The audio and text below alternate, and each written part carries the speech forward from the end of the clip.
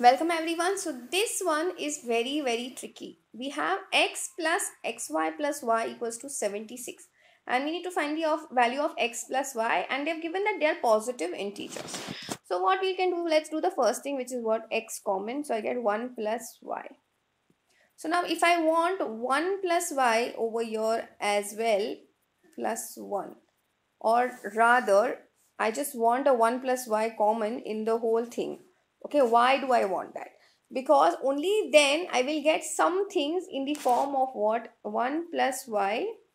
And here i'll get this as what? X plus 1 and things will become very very easy for me to do that okay? If i don't figure this out solving this particular question becomes very very tricky okay? So now for that if i want 1 plus y if i want this bracket over here what you should do is your entire question then changes to what? You just add 1 on both the sides. X into x sorry x plus xy plus y plus 1 equals to 76 plus 1 will that get you 77 okay? So now you will get 1 plus y into x plus 1 equals to 77 now understand 77 here instead of writing 77 we'll put factors.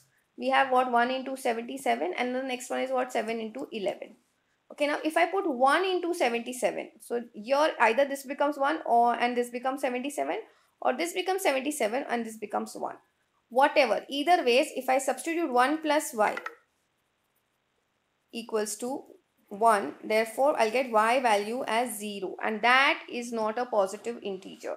Okay so um obviously we can't take this particular value of 1 into 77 as the factor so next is what 7 into 11. So here I can say 1 plus y equals to 7 and 1 plus x equals to 11.